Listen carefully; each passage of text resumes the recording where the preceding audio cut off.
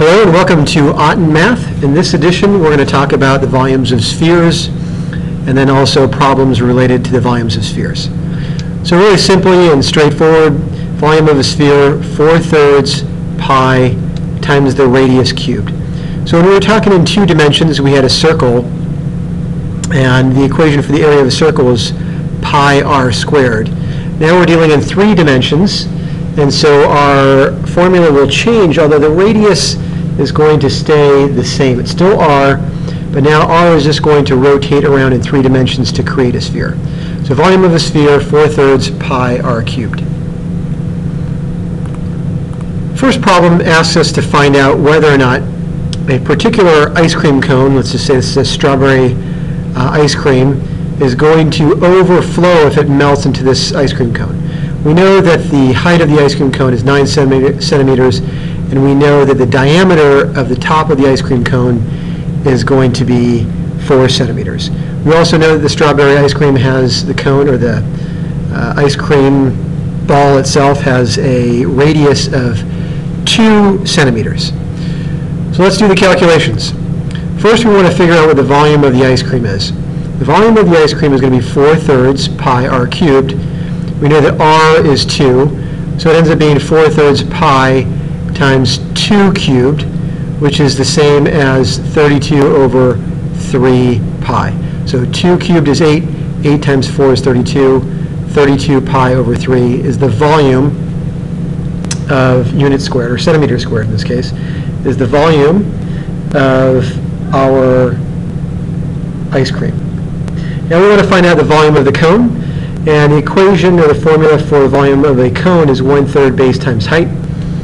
So I have one-third, the base area is going to be 2 uh, pi squared, or 4 pi, times the height, which is 9. So I end up with 36 pi over 3 units cubed, uh, which is greater than the volume of the ice cream itself. So when the ice cream melts, it will not overflow uh, from the cup. But I don't think we want to let it get to that point anyway. Okay, next question. There are two parts to this question. We have a cube whose sides are 10. Total volume is going to be 1,000 cubic uh, units. And we have a couple questions that uh, stem from that cube. The first one is, based on a, a cube with sides of 10, what's the largest size sphere that would be able to fit into that cube? Well, we know that if we draw uh, a sphere inside of that cube, that the sphere will touch the edges at these points here, here, here, here, and then in the back, the top here. So we know that the distance from the center of the sphere to the farthest most reaches, or the outside of the sphere, the sphere itself, uh, sphere itself, is going to be 5, or half of the length of the side of the cube. So 5 is our radius now for the sphere, and I have 4 thirds pi times 5 cubed, which is equal to 125 times 4 thirds pi, or 500 pi over 3. And I'm going to say that's units cubed.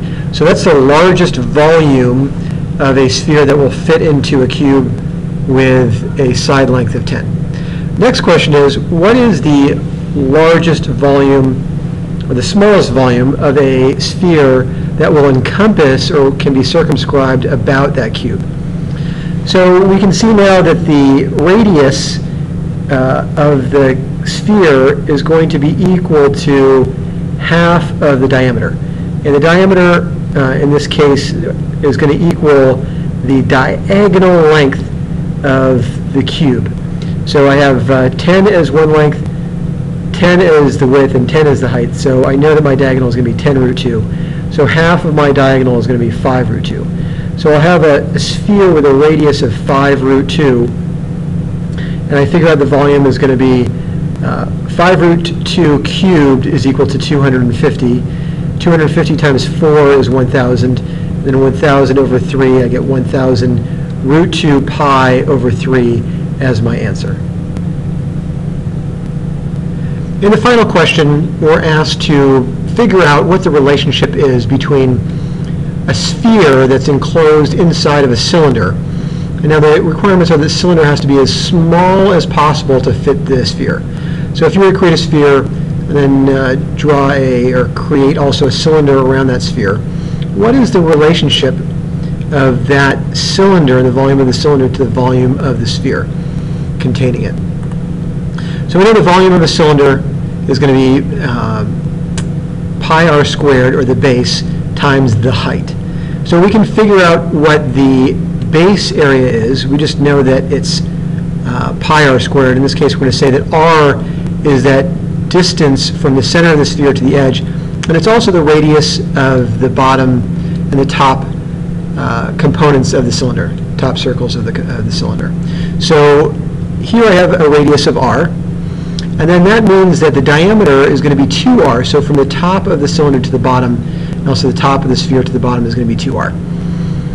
So to figure out the volume of my cylinder, I take pi r squared to the base area times the height, which happens to be 2r. And I compare that with the volume of a sphere, which in this case is going to be 4 thirds pi r cubed, and I relate them to each other. 2 uh, pi r cubed versus 4 thirds pi r cubed. The pi r cubes cancel to 1, so I'm left with a relationship of 2 to 4 over 3, or we can say 2 over 1 times the reciprocal of 4 over 3, which is 3 over 4, which gives me 6 over 4, or 3 to 2. So the volume of the cylinder, the smallest cylinder that can encompass a sphere, is going to be one and a half times greater than the volume of the sphere itself.